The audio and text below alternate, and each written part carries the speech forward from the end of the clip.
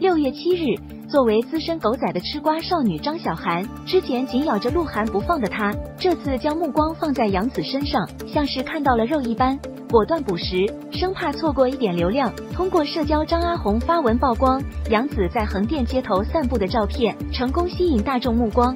当天，杨紫穿着休闲宽松，包裹十分严实，白色休闲 T 恤配黑色拖地裤，戴着渔夫帽的她。就算简单打扮，在街头依旧是靓丽风景线，完全走在时尚前沿，不禁让人直呼小猴子真的太会穿搭了。正是他最后那句小肚子有点圆鼓鼓的，让杨紫的小腹也成为关注焦点。我们都知道杨紫现在是单身，自从上次恋爱失败后，她将所有的心思都放在事业上，不管是上综艺还是采访，都表示这两年不考虑爱情，只想拼事业。可见她的小腹圆鼓鼓。并不是因为有了男朋友的缘故，不免让人怀疑姊妹这是太放纵自己了吧？难道是吃太饱了？毕竟她的吃货人设，圈内也是无人不知无人不晓。作为女星的她，自然要保持好身材，可能就是如此，所以才会晚上出来散步，让热量快速消耗，也长在自己身上吧。这点从他身边有人也能看出，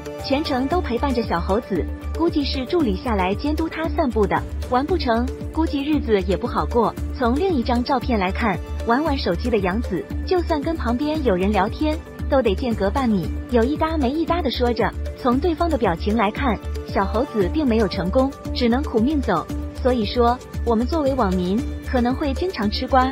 对于明星，大多都看到他们光鲜亮丽的一面，就像杨子，更经历了转型失败跟过气。现在他的成绩是靠自己的努力跟拼搏得来了。作为观众的我们，更应该多关注他的星座，送上祝福跟支持，希望他发展越来越好。不知道你们对于杨紫是如何看待的？是喜欢还是不来电呢？